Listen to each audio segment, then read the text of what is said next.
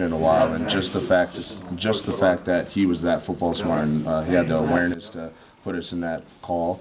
It was, uh, you know, just great on his part, and then we blocked it, and the line blocked it, amazing, and just to have that done we- when we haven't ran that play for a while, and they blocked it great, and we had receivers blocking downfield, it was, uh, it just opened right up, and I just saw it and just took it, and Did you have any idea that you set the record for the amount of times you rushed the ball?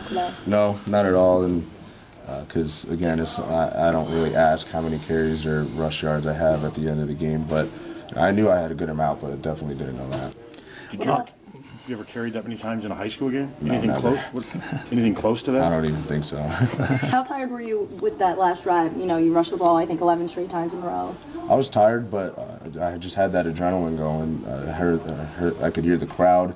They were uh, getting everyone going, and then just uh, I saw the sideline. They were all amped up, and then everyone in the huddle. We were all just so positive and knew that we could get the job done. And I was just so ready to do whatever was willing, uh, whatever uh, my team needed me to do, and I was just willing to put it all on the line.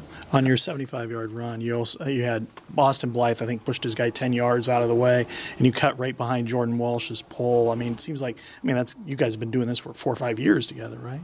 Well, th- yeah, it's just something that it's that uh, chemistry that we all have together. Uh, you just, it's, even though it's all reaction, you do uh, understand and you do know how your guys will block, and you. And I'm just know that my uh, line's going to do an awesome job, and even when the times come where a play doesn't go our way, that they're going to be positive and worry about the next play since it's the most important play, and just uh, always be positive, and they'll, they'll get the job done, and I know they will, and I'm trusting them and very confident in them, and to see them uh, have the uh, progress that we did today. It's just an all team effort. I, nothing that I had would be successful if it wasn't for the line and uh, the whole uh, offense itself. How is it as a running back to see the